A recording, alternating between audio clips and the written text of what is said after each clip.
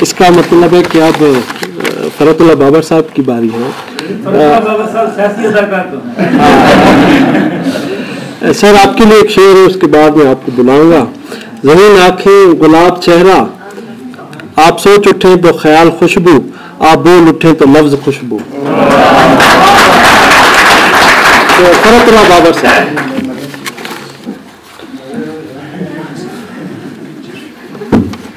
بسم اللہ الرحمن الرحیم۔ شروع کرتا ہوں خدا بزرگ برتر کے نام سے، یہ بہت بخشنے والا، نہایت مہربان اور رحیم ہے۔ محترم پروفیسر حنیف خلیل صاحب، director national institute of Pakistan studies. محترم سینیٹر افراز سیاب خٹک صاحب محترم سینیٹر علی محمد سیف صاحب، جمیل بابر صاحب، اقبال حسین افکار صاحب، واحد بخش صاحب ممبرز آف دا فیکلٹی عزیز طلباء و طالبات۔ ابھی جب نے انٹروڈیوس کیا تو ایک بڑا خوبصورت شعر کہا، میں اس قابل نہیں تھا، نہیں ہوں۔ اس لیے کہ میں عمر کے اس حصے میں ہوں کہ راکھ کے اس ڈھیر میں نہ شعلہ ہے نہ چنگاری۔ میں سب سے پہلے میں محترم ڈاکٹر حنیف خلیل صاحب کو مبارکباد پیش کرتا ہوں کہ انہوں نے یہ کتاب لکھی اور نہ صرف انہوں نے یہ کتاب لکھ کر پشتو زبان کے، پشتو کلچر کے جو فلمی دنیا کے ہمارے ہیروز ہیں۔ خواب لکھاری ہیں ایکٹرز ہیں ڈائریکٹرز ہیں۔ نہ صرف ان کو زندہ رکھا، بلکہ پشتو زبان پر بھی احسان کیا۔ کہ آپ نے ڈاکٹر صاحب پشتو زبان میں یہ کتاب لکھ کر آپ نے خود پشتو زبان کی خدمت کی ہے؟ اور آپ نے اس کتاب میں ہمارے وہ فنکار، وہ ڈائریکٹرز وہ ایکٹرز جو دنیا سے رخصت ہو گئے ہیں۔ نہ صرف ان کی زندگی بیان کی ہے، ان کو قلم بند کیا ہے، بلکہ وہ بھی جو زندہ ہیں۔ اور اللہ ان کو زندہ و سلامت رکھے جس طرح جمیل بابر صاحب ہیں، ان کی بھی آپ نے پذیرائی کی ہے۔ ہمارا معاشرہ تو ایسا معاشرہ ہے کہ اگر کوئی زندہ ہو تو اس کی پذیرائی نہیں ہوتی۔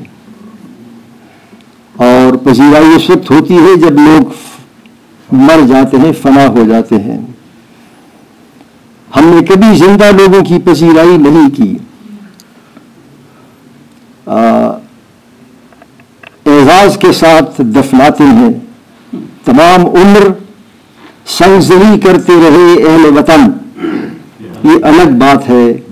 کہ دفنائیں گے اعزاز کے ساتھ۔ تو آپ نے ان لوگوں کو بھی آپ نے ان لوگوں کو آج جو اعزاز بخشا ہے جو وہ زندہ ہیں اور یہ ہمارا تجربہ ہے کہ ہم زندہ لوگوں کی پذیرائی نہیں کرتے۔ ان میں ایک محترم افراز سے آپ خٹک صاحب ہیں۔ زندہ ہیں۔ اللہ ان کو سلامت رکھے۔ ریاست کی طرف سے کسی طرف سے پذیرائی نہیں ہوئی۔ اگر وہ ایکٹر ہوتے تو آپ کی اس کتاب میں یقیناً ان کا بھی ذکر ہوتا۔ I am sure about that دیکھیے جی یہ جو کتاب ہے میں نے دیکھی صبح دیکھی۔ اس سے پہلے میری ڈاکٹر صاحب سے بات ہوئی تھی اس کتاب کے بارے میں۔ اپارٹ فرام دا فیکٹ کہ آپ نے پشتو کلچر کے ایک اہم حصے کو ریسرچ کر کے ایک جگہ پہ اکٹھا کر دیا۔ جیسے میں نے پہلے عرض کیا کہ آپ نے پشتو زبان کی خدمت کی ہے۔ اور یہ کیوں ضروری ہے؟ زبان کو زندہ اور قائم رکھنا۔ نظب بیش پشتو میں سمجھتا ہوں کہ پشتو زبان کو زندہ اور قائم رکھنا ہمارے اس دور کا ایک بڑا چیلنج ہے۔ نہ صرف پشتو زبان کا بلکہ پاکستان کے تمام صوبوں میں جو میجر زبانیں ہیں، جن کو میں قومی زبانیں کہتا ہوں، ان کو زندہ رکھنے کا، ان کو تقویت دینے کا، ان کو پروان چڑھانے کی بہت بڑی ضرورت ہے۔ اور ہم نے اپنی آنکھوں سے دیکھا، ہم نے خود اپنی زندگی میں دیکھا کہ کیسے زبانوں کے مسئلے پر جب زبانوں کو دبایا گیا، یہ پاکستان کے فیڈریشن کو کتنا نقصان پہنچا۔ آپ نوجوان ہو، آپ کو معلوم نہیں ہوگا۔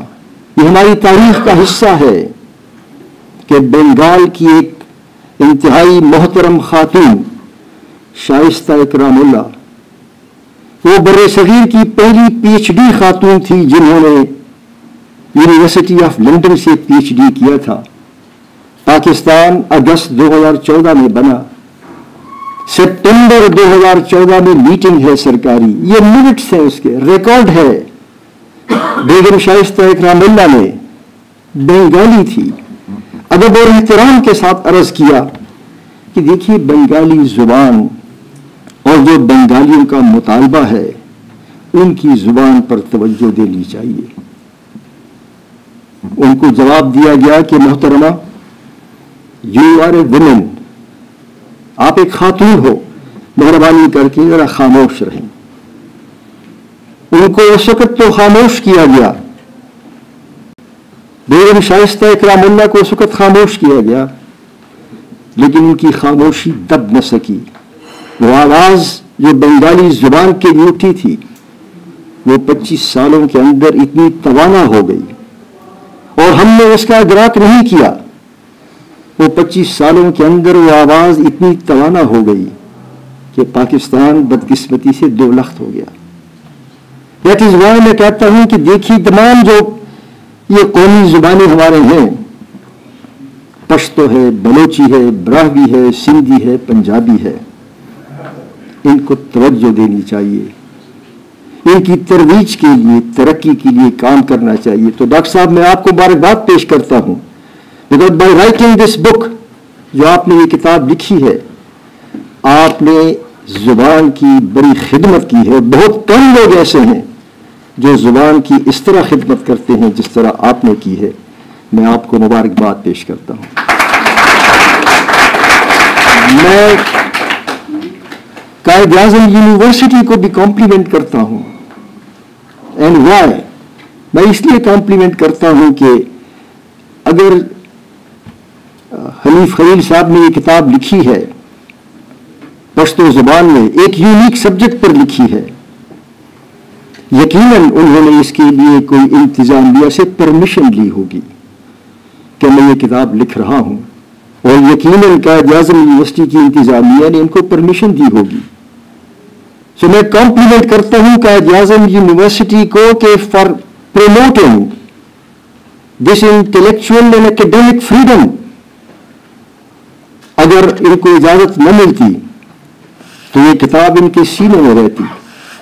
اور اس وقت کا تقاضا ہے کہ انٹلیکچوئل اور اکیڈیمک فریڈم کو فروغ دیا جائے۔ تو جنہوں نے بھی ڈاکٹر صاحب کی معاونت کی ہے، in this academic intellectual freedom وہ بھی مبارکباد کے مستحق ہیں۔ I want to compliment them یہ کتاب جو ہے جیسے مجھ سے پہلے بھی کہا گیا کہ اس کی ضرورت ہے کہ ترجمہ کیا جائے۔ ترجمہ صرف اردو اور انگریزی میں نہ ہو، ترجمہ اس کی پاکستان کی تمام زبانوں میں ہو۔ خواہ بلوچی ہو، پنجابی ہو، سندھی ہو، براہوی ہو۔ اور جب اس کا ترجمہ ان زبانوں میں ہوگا اور میں اس پلیٹ فارم پر گزارش کروں گا اکیڈمی آف لیٹرز سے یہ ان کے منشور میں شامل ہے، یہ ان کے چارٹر میں شامل ہے کہ وہ اس کتاب کا اپنے طور پہ پاکستان کی دوسری تمام قومی زبانوں میں اس کا ترجمہ کریں، اس سے قومی وحدت بڑھے گی، قومی یگانگت بڑھے گی، آپس میں انڈرسٹینڈنگ بڑھے گی۔ تو میں اس پلیٹ فارم پر کھڑے ہو کر آپ کی وساطت سے یہ مطالبہ کرتا ہوں کہ اس کا ترجمہ Pakistan academy of letters Pakistan کی تمام زبانوں میں کرے دیکھیے، پشتو پختون کلچر میں زبان کی اہمیت تو ہر کلچر میں زبان کی ہے ہی ہے۔ پختون کلچر میں زبان کی اہمیت کچھ اور ہی ہے۔ اور یہ آپ کو پختون ہی بتا سکتا ہے کہ پشتوں میں کہتے ہیں کہ پختون پر جب مسلمان دے it encompasses in one sentence کہ پشتو پشتون جو ہے وہ پشتو زبان کو کیا ویلیو دیتے ہیں؟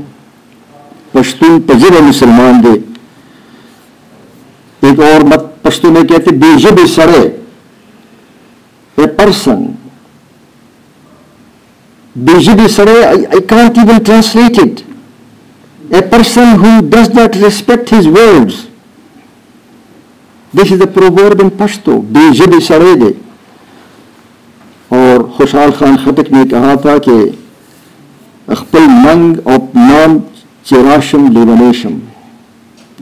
When it comes to my own mother tongue and my honor, I become a madman.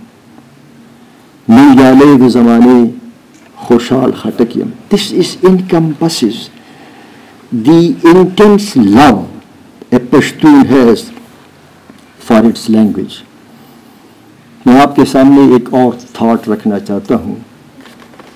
اور وہ یہ ہے کہ دیکھیے، پشتون بیلٹ جو ہے پاکستان میں why this book is important یہ کیوں ضروری ہے کہ ہم اس طرح کی کتابوں کی، اس طرح کے ادیبوں کی، مصنفوں کی پذیرائی کریں؟ کیونکہ پشتون بیلٹ جو ہے گزشتہ چالیس سالوں سے، دو generations of Pashtun have been destroyed by war and terror. ان کا سب کچھ تقریباً تباہ ہو گیا ہے۔ ہاؤ ٹو پروٹیکٹ سوال ہمارے سامنے اب یہ ہو اور اس طرح کی ادیب اور شاعروں کے سامنے یہ سوال ہو۔ کہ آپ اپنا زور بیان زور قلم، آپ اس طرح استعمال کریں کہ پختونوں کی جو تباہی ہوئی ہے، وہ تباہی میں جو نقصان ہوا ہے، اس کو اگر ختم نہیں کر سکتے تو اس کو کم کیا جائے۔ میں افراسیاب خٹک کے صاحب کے ساتھ کل رات ہی کو افغانستان سے واپس آیا ہوں۔ وہاں پہ صدر اشرف غنی کی اوتھ ٹیکنگ تھی۔ اور ہم نے وہاں دیکھا کہ there is a yielding between the people Pakhtuns of Afghanistan and the Pakhtuns of Pakistan to come closer together us factor کو اور اس فورس کو پاکستان سے غداری نہ سمجھا جائے اس کو یہ نہ سمجھا جائے کہ پاکستان میں ڈیمائن ہو رہا ہے مجھے بڑی خوشی ہے کہ جب پنجابی انٹرنیشنل کانگریس کا انعقاد ہر سال ہوتا ہے۔ ہمارے پارٹی ہی کے ایک رہنما تھے، فخر فخر زمان صاحب، وہی اس کے روح رواں ہیں۔ اور ہم نے دیکھا کہ گزشتہ چند سالوں سے ہر سال پنجابی انٹرنیشنل کانگریس ہو رہی ہے۔ اور اس کا ایک فائدہ ہوا ہے۔ اور فائدہ یہ ہوا ہے کہ ایسٹ اور ویسٹ پنجاب دونوں کے لوگوں کے درمیان جو دیوار تھی، وہ دیوار brick by brick, bit by bit گر رہی ہے ڈیمالش ہو رہی ہے۔ اور شاید یہ کہنا غلط نہیں ہوگا کہ اگر کرتارپور کا کاریڈور کھل گیا ہے، تو شاید اس میں اس پنجابی انٹرنیشنل کانفرنس کا بھی تھوڑا سا حصہ ہو۔ ہمیں بڑی خوشی ہے اور ہم چاہتے ہیں کہ وہی چیز ریپلیکیٹ ہو جائے اس سرحد پر بھی۔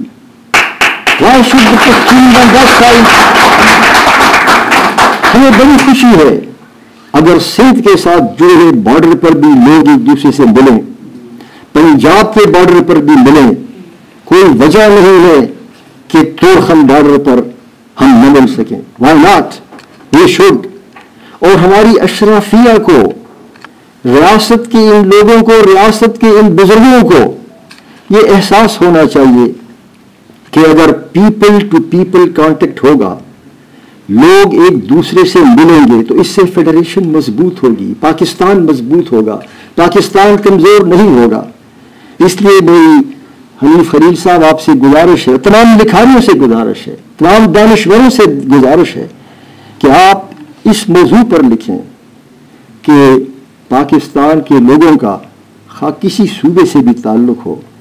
ان کو اور اپنے ہمسایہ ممالک کے ساتھ پیپل ٹو پیپل کانٹیکٹ کو بڑھائیں۔ اور یہ کتاب، اس طرح کی کتابیں، یہ ہی آپ کے لیے بہت بڑا ٹول ہے۔ ایک بہت بڑا انسٹرومنٹ ہے to increase to enhance and promote this people to people contact میں یہ سمجھتا ہوں کہ finally I should like to conclude میں یہ سمجھتا ہوں کہ اب جو پشتونوں کے ایریا میں آگ لگی ہوئی ہے۔ اس آگ کو بجھانے کے لیے ہم سب کو مل کر کام کرنا ہوگا۔ ڈاکٹر صاحب جیسے لکھاریوں نے قلم کے ذریعے افراسیاب خٹک صاحب جیسے سیاست دانوں نے اپنی سیاست کے ذریعے اور ہیومن رائٹس ایکٹیویزم کے ذریعے اور بیرسٹر سیف کی طرح پارلیمان کے پلیٹ فارم پر اور جلیل بابر صاحب ایکٹرز کی طرح اپنے اس فلم انڈسٹری کے ذریعے ہمیں یہ آواز اٹھانی چاہیے، ہمیں یہ پروموٹ کرنا چاہیے کہ پیپل ٹو پیپل کانٹیکٹ ہو، تو پاکستان کی تمام قومی زبانوں کی ترقی کے لیے اقدامات کیے جائیں۔ صرف یہ کافی نہیں ہے کہ جی کو، کہ جو جو قومی زبانیں ہیں، ان کی ترقی کا کام صوبائی حکومت کا ہے۔ صرف یہ کہنا کافی نہیں ہے۔ مثلا یہ اگر کوئی یہ کہے کہ طالب علم آزاد ہے، وہ پی ایچ ڈی کرنا چاہے، ہم نے تو آزادی دی ہے۔ اس آزادی سے وہ پی ایچ ڈی نہیں کر پائے گا جب تک ریاست اسے سہولتیں نہ دے۔ جب تک ریاست اسے یونیورسٹیز میں پرمیشن نہ دے، سہولتیں پرووائڈ نہ کرے۔ اگر پاکستان کی قومی زبانوں کو ترقی دینا ہے، تو محض یہ کہنا کافی نہیں ہے۔ کہ یہ تو صوبائی حکومت کا کام ہے، یہ ریاست کا کام ہے کہ وہ ایسا ڈھانچہ دے کہ جس میں تمام علاقائی زبانیں جو ہیں وہ ترقی کر سکیں۔ میں آپ سب کا بے حد شکر گزار ہوں کہ آپ نے میری باتوں کو بڑے غور سے سنا۔ تھوڑی دیر کے لیے مجھے بھی یہ غلط فہمی ہو گئی کہ شاید میں کوئی ڈھنگ کی بات کر رہا تھا جس طرح آپ خاموشی سے سن رہے تھے۔ حنیف خلیم صاحب، میں آپ کا بے حد شکر گزار ہوں کہ آپ نے مجھے بات کرنے کی دعوت دی اور مبارکباد پیش کرتا ہوں۔ ایک بار پھر again and I would urge you to keep up this momentum the fact is that the more you do اور انہوں نے آپ کو ایب نارمل کہا I would urge you to keep up this thing beyond and abnormal اور آپ پھر دیکھیں گے جس جذبے کے ساتھ آپ یہ لکھ رہے ہو اور آپ نے کام کیا ہے اور آپ نے اور کئی کتابیں لکھی ہیں the more you do the more you will realise how much more needs to be done thank you very much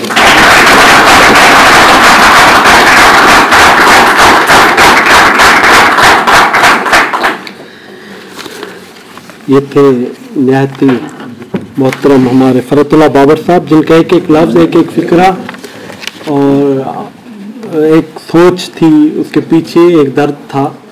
اور ہمارے لیے ایک پیغام تھا کہ ہم بھی اس طرح سے سوچیں اور جہاں جہاں جس جس کو جس طرح رول پلے کرنا ہے اس کو وہ پلے کرنا چاہیے